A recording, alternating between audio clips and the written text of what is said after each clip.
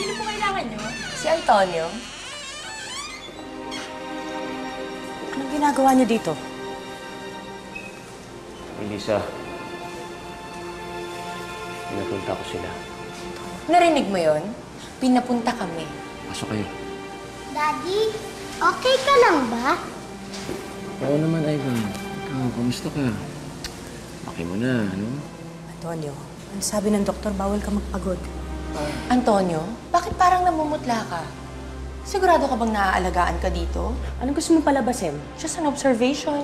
Tama na, pwede. Liam, kamusta ka? Okay naman. Surviving kahit wala ka. Mami, good morning po. Oh, good morning. Teka, gusto mo na ba mag-breakfast? Ah, sige, kuha ka na ng plato. I-ready na natin Ah, breakfast. hindi na ho, okay lang po ako. Are you sure? Pasensya ka na. Excited ako at I'm so happy na papasok ka na sa Memorata. Kinakabahan nga po ako eh. Bakit ka kinakabahan? Alam mo, yung mga tao doon, sinabihan na namin, naalalayan ka. Eh, syempre ho, bagong, bagong trabaho, bago lahat.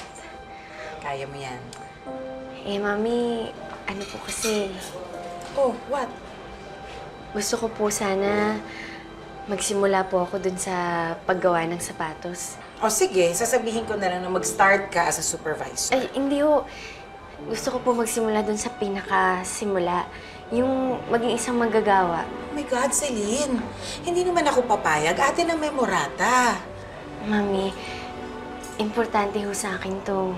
Pasensya na ho kayo, pero ayoko po kasi na magkaroon po ako ng posisyon sa Memorata dahil lang anak niyo po ako. Gusto ko po, pinaghihirapan ko po yung mga nararating ko. Yes, but that's absurd.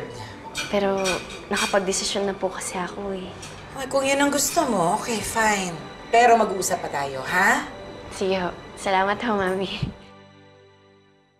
Nephrosis. Hindi na tama ang pag-function ng kidneys ko.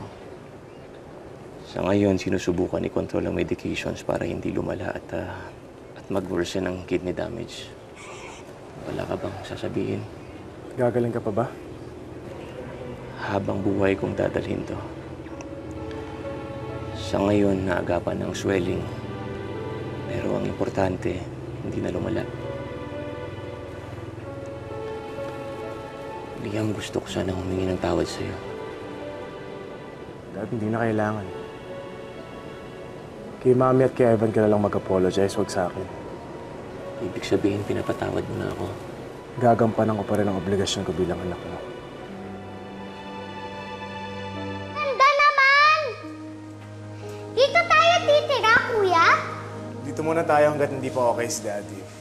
You're renting this? Yes, Ma'am. Bakit hindi nila tayo bumili ng bahay?